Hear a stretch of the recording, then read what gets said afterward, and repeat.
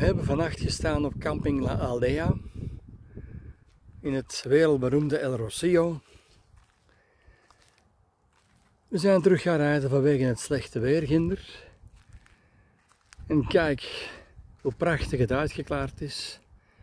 En we staan momenteel in het mooie dorpje Puerto Serrano. Niet zo ver van Ronda af.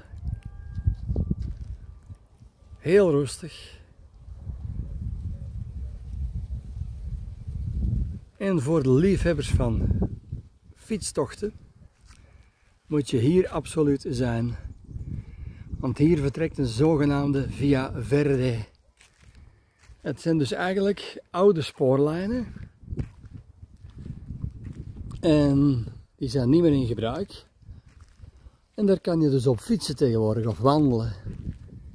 En die komen dus door prachtige stukjes natuur. Zoals bijvoorbeeld hier Puerto Serrano. Zie je op de achtergrond het oude stationsgebouw. Dat nu dienst doet als restaurant.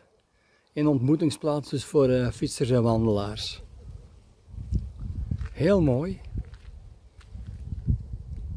Je zou hier je fiets of je auto kunnen parkeren onder de luifels als het te warm moest zijn. Het ziet er een beetje smoezelig, groezelig uit. Met de plaats waar je dan staat als kamperaar. Die is helemaal gratis weer. Geen voorzieningen, enkel vuilbakken. Puerto Serrano, niet ver van Ronda af.